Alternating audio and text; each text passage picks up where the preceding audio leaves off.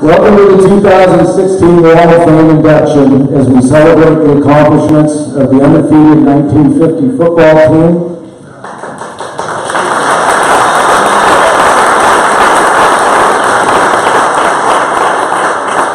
The 1976 boys basketball team.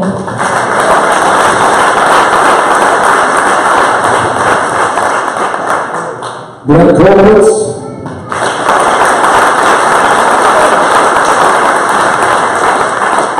Tim Taylor.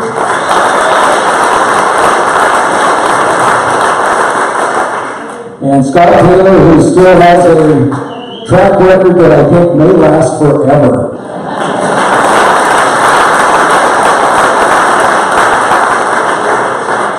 I'd like to thank the Booster Club for all the goodies tonight, as well as the South Bend AD, Tom Sanchez, Superintendent Jon Tienhaara, and the school board for all their work in putting uh, this great event on. And a special thanks to all of you guys for showing up. This is, uh, you never know what's going to happen at these events and stuff, and this turnout is absolutely fantastic. So thanks to everybody for coming.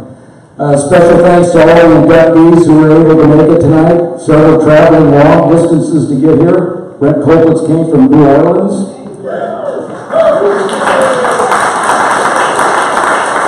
And Scott came from Chandler, Arizona.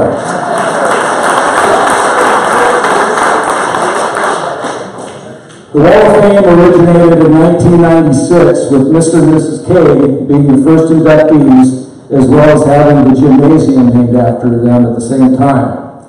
The Wall of Fame is designed to recognize teams and individuals who have graduated from South Bend and have distinguished careers, and other non-graduates who have made important contributions to the South Bend School District, School District and our kids over time.